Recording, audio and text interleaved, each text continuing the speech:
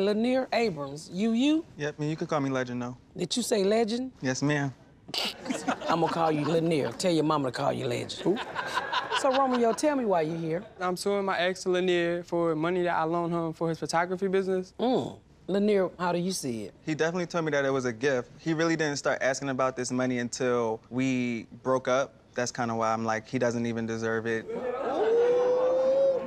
Was you dating at the time of this loan? Was y'all in a relationship? Yes. Which is why, even more so, it was a gift. You lost your mind. What you mean that's a gift? You crazy. I need my money back. I was gonna ask you, was it a loan or a gift? That was a loan. You just turned into a whole dude in this motherfucker.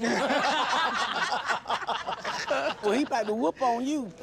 So, Romeo, why did you give him the money? I gave him the money because at the time when we was dating, like, I loved him. He was so sweet and genuine. He was there for me when I was coming out. Coming out of where? Like, coming out of the closet, like, from being Oh, gay. okay. Yeah. I thought you was getting out of jail. I'm sorry. Oh, no. He told me that it was a gift. I so never said that. It's not true. No. Can you please tell me how you and Lanier met? Me and him met um, through a dating app. Which one, honey? You talking about which one? Grindr. Tinder. In the beginning, it was cool. But then as time went on, I've seen that he was a liar, a manipulator, a narcissist. Does this look like a face of a liar, Your Honor? Come on. Yes. Thank you. Mm-hmm.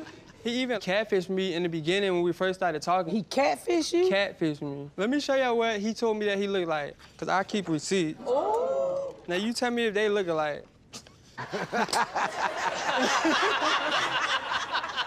Wait a minute. That don't make no sense. He sent you Ray J picture? Damn, I look good.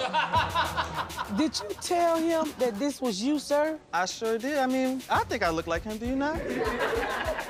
You don't even like you can be this man's cousin. Romeo, do you have anything to say for yourself before I make my decision? Yeah, I just want my money back that I loaned him so he could just get out my life and he could just leave me alone. He definitely have been having like a lot of big clients, so he clearly got the money. Lenny, you're a legend. What do you have to say? You know, Your Honor, this whole court case is spite.